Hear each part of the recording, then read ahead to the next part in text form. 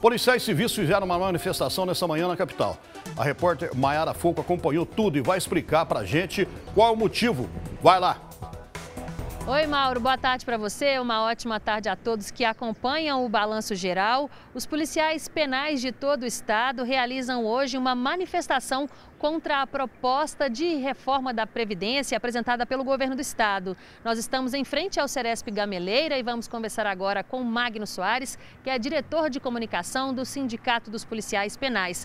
Magno, boa tarde. Qual que é o objetivo dessa manifestação hoje? O objetivo é mostrar ao governo que nós estamos mobilizados. Né? Foi deliberado durante a manifestação do dia 6 que hoje seria nosso dia de luta. Né? Então, os atendimentos aqui no Ceresp estão suspensos, suspensos até o horário do meio-dia. O que mais prejudica nessa proposta do governo do Estado? A proposta ela tem vários tópicos aí muito é, é importantes que, que estão prejudicando, a questão das aposentadorias, as questões das alíquotas, né? Ah, as nossas progressões, a gente para de progredir, é, as férias prêmios serão extintas.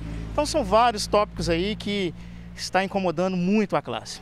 Vocês esperam então que os deputados não aprovem esta proposta do governo do estado? Sim, né? Sim. A gente pede a todos os deputados nesse momento que sejam bem flexíveis às nossas propostas que já foi entregue lá no dia 6 na manifestação.